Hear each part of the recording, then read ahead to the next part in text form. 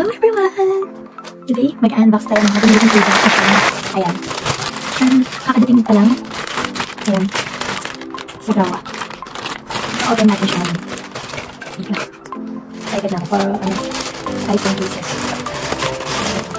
Mga ano kayo naman yan. Ito kasi ano, ito na. Ito yung una. Ayan. Ayan. Pangalawa. Cutie. Pangatlo. Ayan. Ang cute. Ano naman? Pang-lima. Ang cute. Diba? Hindi ko Bali. Bali, five pieces sila. Ito Ayan, ito. So, may tawag. Para silang galing work. Ayan sila. Tadaan. Ayan. iPhone keys. Ito yung original keys. Ito natin ito. Tingnan natin kung fit. Ito yun. Ayan. Tapos natin yung ano, yung stress ball ba yata? Hindi ako sure eh. Ako lang hindi ko alam yung tawag dito. So, hindi talaga siya alam. Ayan. Mo sa inyo. Tadaan. Tingnan mo yung pangalawa. Ipatay natin. Thank you. Ayan. Hmm, ganito lang siya. Ayan. Ayan. Meron pang ganito. Ayan siya. Ayan siya. Cute. Ayan. Makakapalit na ako ng case everyday. Kung ano yung trip ko, kala ko ang gusto kong style. Ano na?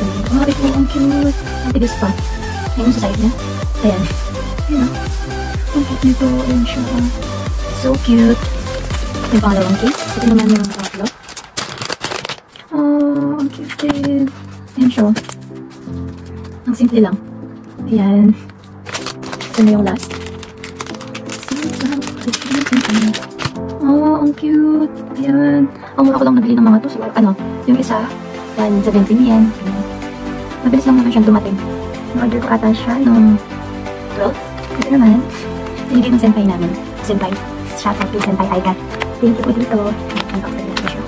Kaya nag-close. Ayan. Cute. Tapos, pwede siyang i-open. Pwede, pwede ka maglagay ng card. Ayan. Pwede ka maglagay. Ang cute, diba? Ayan. Ito yung mga nabili, na ko sa Shein. Na-purchase ko. Lahat. Ayan. Tapos ito, ang cute. Ang cute naman. Ayan. Ito. Ang cute ng design. Ayan. Ayan. Cute, no? Pangalawa. Ayan. Ang cute. Pangatlo.